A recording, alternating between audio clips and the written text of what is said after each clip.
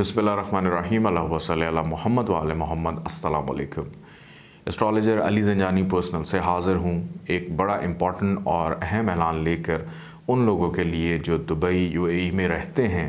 मैं इन ताला फरवरी के आखिरी हफ़्ते में दुबई आ रहा हूँ। आप अगर वहाँ पे मेरे से मिलना चाहते हैं, अपना जायचा बनवाना चाहते हैं आप मुलाकात कर सकते हैं। स्क्रीन पे नंबर मौजूद है। आप इस पर कॉल करके या व्हाट्सएप पे मैसेज करके भी पर्सनल अपॉइंटमेंट की बुकिंग ले सकते हैं। अपना ख्याल रखिएगा। इजाज़त दीजिए। अल्लाह हाफिज़।